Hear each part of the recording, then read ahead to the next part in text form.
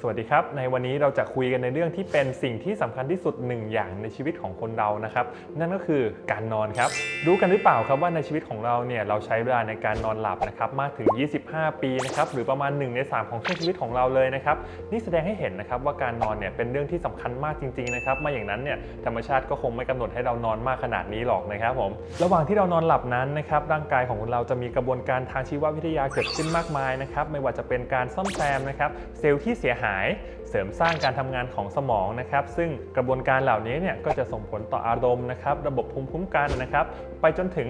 ลดความเสี่ยงต่อการเป็นโรคเรื้อรังต่างๆนะครับ เช่นโรคเบาหวานเป็นต้นด้วยนะครับ วันนี้ผมเลยอยากจะขอยกตัวอย่างสัก 4 ข้อที่จะทำให้คุณเห็นว่าการนอนนั้นสำคัญต่อร่างกาย และจิตใจของคนเราขนาดไหนนะครับ ถ้าพร้อมแล้วเราก็มารับฟังกันเลยครับ ข้อแรกนะครับผม หากเราพักผ่อนหรือว่านอนหลับไม่เพียงพอเนี่ยจะส่งผลทำให้น้ำหนักตัวของเราเพิ่มขึ้น ใช่นะครับ ทุกคนฟังไม่ผิดหรอกนะครับ เพราะมีงานวิจัยหลายชิ้นบ่งบอกว่าคนที่พักผ่อนน้อย หรือนอนน้อยนะครับมีแนวโน้มที่จะมีน้ำหนักตัวมากกว่าคนที่นอนหลับได้อย่างเพียงพอครับมีงานวิจัยอยู่ชิ้นหนึ่งนะครับให้ข้อสรุปไว้ว่าเด็กที่มีการพักผ่อนน้อยนะครับมีแนวโน้มที่มีการพัฒนาไปสู่โรคอ้วนมากถึง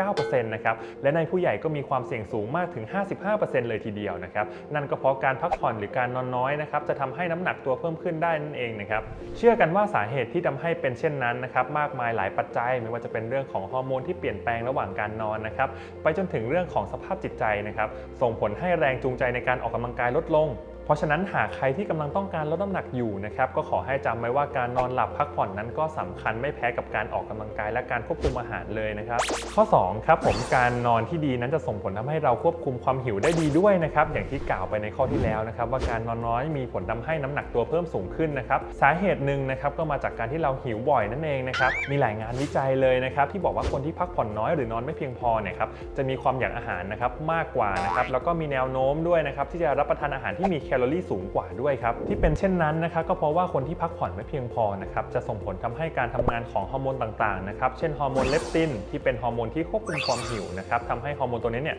ลดลงนะครับทำให้คนเรานะครับมีความหิวที่มากขึ้นนั่นเองครับข้อ3ครับการนอนที่ดีเนี่ยจะส่งผลต่อสมาธิและการทำงานนะครับทำให้ประสิทธิภาพที่ดีขึ้นนะครับเนื่องจากการนอนมีผลต่อภาวะต่างๆ ของการทำงานของสมองนะครับไม่ว่าจะเป็นเรื่องของความจำสมาธิ หรือแม้แต่ประสิทธิภาพในการทำงานของสมองด้วยครับ มีงานวิจัยชิ้นหนึ่งนะครับที่บอกว่าการที่เราพักผ่อนไม่เพียงพอเนี่ยครับหรือว่าคนที่นอนน้อยจะทำให้ประสิทธิภาพของการทำงานของสมองลดลงนะครับเทียบเท่ากับคนเราเมานะครับจากการดื่มเครื่องดื่มแอลกอฮอล์เลยทีเดียวนะครับการนอนนั้นนอกจากจะช่วยเรื่องการทำงานของสมองแล้ว ยังช่วยเสริมสร้างระบบภูมิคุ้มกันของร่างกายได้อีกด้วยนะครับจากงานวิจัยบ่งชี้ว่าคนที่นอนหลับพักผ่อนน้อยกว่า 7 ชั่วโมงนั้นมีโอกาสป่วยเป็นหวัดนะครับมากกว่าคนที่นอนหลับพักผ่อน 8 ชั่วโมง ต่อคืนนะครับมากถึง 3 เท่าาเลยทีเดียวครับ ข้อ4ครับการนอนหลับพักผ่อนไม่เพียงพอนะครับก็เป็นหนึ่งในปัจจัยหลักที่ส่งผลให้เกิดโรคทางระบบหัวใจและหลอดเลือดเช่นกันครับมีงานวิจัยมากมายนะครับที่ระบุว่ากลุ่มคนที่นอนหลับไม่เพียงพอ หรือคนที่นอนหลับมากจนเกินไปนะครับจะมีอัตราเสี่ยงต่อการ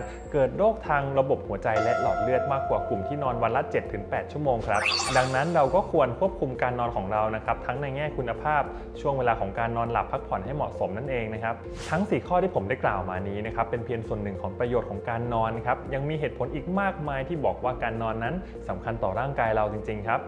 ในเมื่อเราพอจะทราบกันแล้วนะครับว่าการนอนหลับพักผ่อนให้เพียงพอเนี่ยมันมีความสำคัญ มีประโยชน์ต่อร่างกายและจิตใจเราขนาดไหนนะครับแล้วมันพอจะมีตัวช่วยอะไรบ้างไหมนะครับที่จะทำให้การนอนหลับของเราเนี่ยดีขึ้นหรือมีประสิทธิภาพที่ดีมากขึ้นนะครับคำตอบก็คือมีครับผม เช่น การลดการมองแสงสีฟ้าก่อนเข้านอนนะครับก็คือการไม่เล่นมือถือก่อนนอนนั่นเอง แล้วก็การไม่ดื่มกาแฟหลัง4ี่โมงเย็นนะครับการกำหนดเวลาเข้านอนตื่นนอนนะครับการตั้งอุณหภูมิห้องให้เหมาะสมต่อการนอนของแต่ละบุคคลนะครับงดการทานอาหารก่อนเข้านอน และอื่นๆ อีกมากมายนะครับ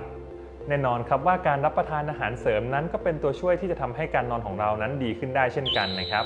เรามาดูกันครับว่ามันมีอาหารเสริมอะไรที่ช่วยตรงนี้ได้บ้างครับ ตัวแรกเลยนะครับน้ำมันรำข้าวนะครับ นอกจากจะมีคุณประโยชน์มากมาย เช่นมีฤทธิ์ในการต้านอนุมูลอิสระนะครับช่วยลดระดับคอเลสเตอรอลแล้วนะครับยังมีงานศึกษานะครับที่ตีพิมพ์ในวารสารปี 2017 นะครับเกี่ยวข้องกับโภชนาการนะครับที่บ่งชี้ว่าการรับประทานอาหารเสริมที่มีน้ำมันรำข้าวเป็นส่วนประกอบนะครับหรือเราเรียกกันว่า rice bran supplement นะครับ ช่วยทำให้นอนหลับได้ง่ายขึ้นนะครับแล้วก็การนอนหลับเนี่ยยาวนานต่อเนื่องมากขึ้นด้วยนะครับรวมถึงช่วยลดฤทธิ์จากคาเฟอีนลงอีกด้วยครับตัวที่ 2 งาดำครับ เดิมทีงาดำเนี่ยเป็นพืชที่มีวิตามินและเกลือแร่หลากหลายชนิดเลยนะครับที่เกี่ยวข้องกับการสังเคราะห์สารสื่อประสาทต่างๆ ที่มีผลต่อการนอนนะครับยกตัวอย่างเช่นเซโรโทนินนะครับหรือว่าอีกตัวหนึ่งนะครับที่คนเราคุ้นชื่อกันอยู่แล้วนะครับก็คือเมลาโทนินนะครับกูตาเมตนะครับผมแล้วก็มีงานวิจัยนะครับในกลุ่มผู้สูงอายุชาวไทยด้วยนะครับอันนี้นะครับ พบว่าคุณภาพในการนอนหลับนะครับเพิ่มขึ้นอย่างมีนัยสำคัญเลยนะครับโดยวัดผลหลังจากการรับประทานงาดำต่อเนื่องนะครับ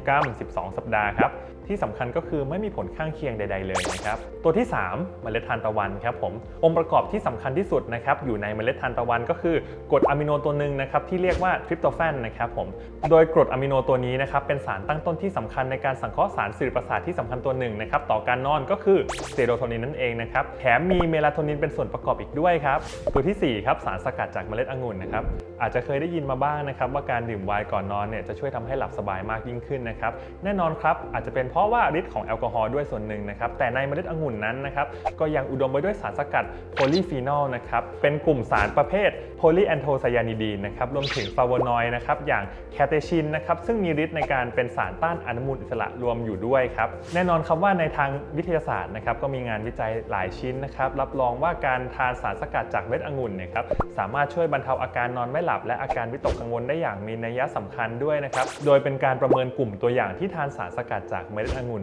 200 มิลลิกรัมต่อวันนะครับต่อเนื่องเป็นเวลา 8 สัปดาห์นั่นเองนะครับถึงตอนนี้ทุกท่านน่าจะรู้ถึงความสำคัญของการนอนและทริคเล็ก ๆ น้อยๆนะครับที่ช่วยเพิ่มคุณภาพของการนอนได้นะครับเพื่อให้สุขภาพของเราดีขึ้นนะครับอย่าลืมติดตามกันนะครับว่าใน EP ถัดไปนะครับเราจะนำเรื่องราวที่มีประโยชน์อะไรมาแชร์ให้ทุกท่านนะครับ และพบกันใหม่ครับ สวัสดีครับ thank you